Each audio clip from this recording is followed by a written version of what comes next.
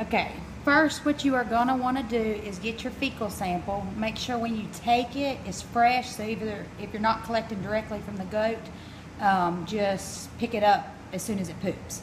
And then before you do your sample, if you're gonna do your sample, run it later on, just put it in the refrigerator.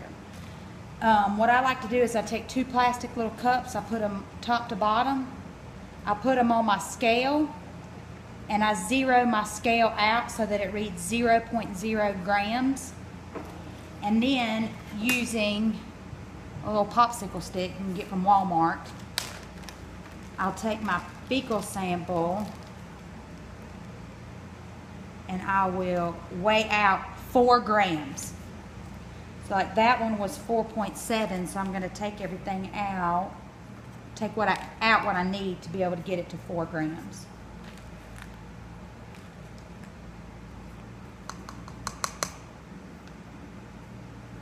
We got four grams in the cup. So then what I'll do is I take my cups and I use a 30 cc syringe because you're going to want to put in 26 cc's of the um, fecal solution, the salt solution you use. I don't know if you have the stuff to make, you're making it up or if you're buying the solution. The solution we use is Fecamed by Vet One. So you may be able to Google that and be able to buy that. Um, it's just nice, it's already made up, but once you open it, each time you use it, shake it up really good because the salt sits on the bottom. So because you have four grams of poop, you're going to use 26 cc's of the salt solution. Um, so like, let's say you only had three grams of poop, you would use 27 cc's of salt solution because you want a total of 30 cc's.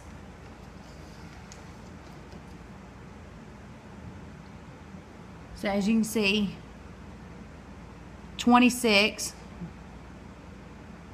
cc's, which is the same as mLs. You're going to put that directly in with your poop. And next what you're going to do is mix your poop up really good. So like this one was um, really runny poop.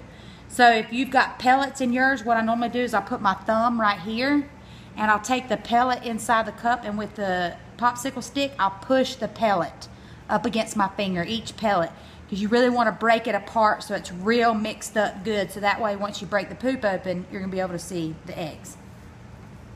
So once it's mixed up, this is the reason why I do two cups, because you've got a clean cup underneath.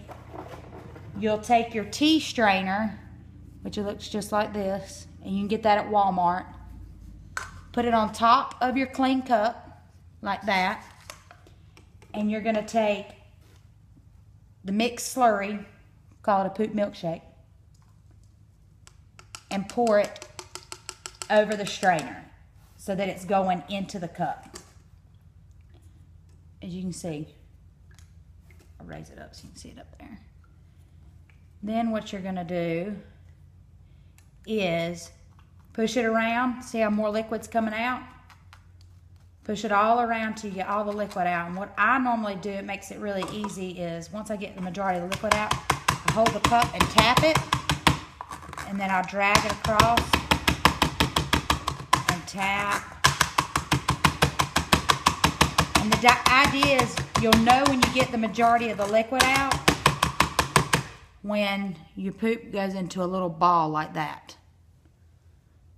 So we can just set that to the side. And now you have what you're going to put into your slide. I don't know if you got the slide with three chambers or two chambers.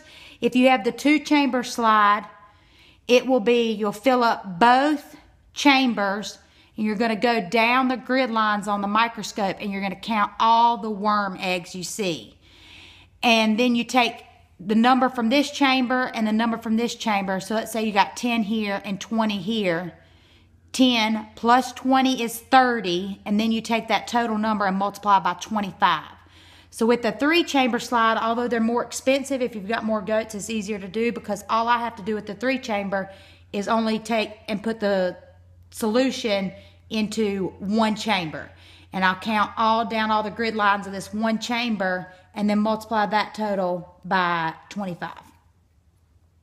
So we use these little things, pipettes, they're disposable, but at um, Walmart you could probably get um, like the uh, the diabetes syringes or an eyedropper will probably work.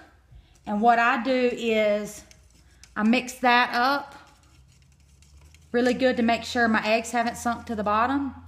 And then draw up from the top of the solution. So don't stick it all the way down and then suck up. You want to suck from the top because it's called a fecal flotation. So the eggs float to the top.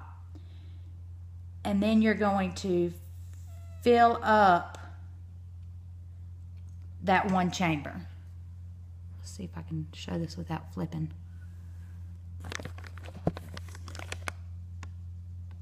You can see right there how it's filled up. Okay. And even though there's a bubble on the side, it's not in the actual chamber where you'll be counting, so it's okay. So what you then will do is you'll put it under your microscope. I normally, since I already got this one prepared, and I'm only doing one go, I'll go ahead and stick it under there. And then I'll let it sit for five, at least five minutes to make sure all the eggs float up. And then what you'll do is you can get these little counters, look like this.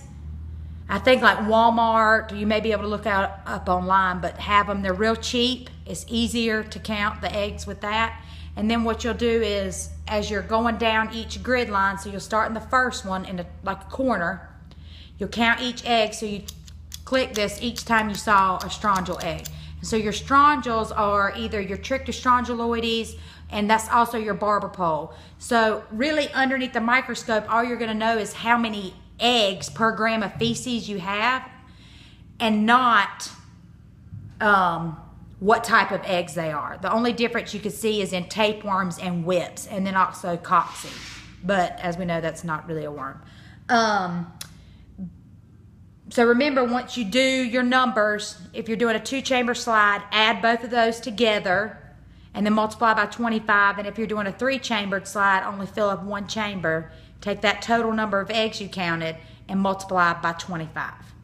Um, if you got any questions, just feel free to call, email, or Facebook me. Thanks.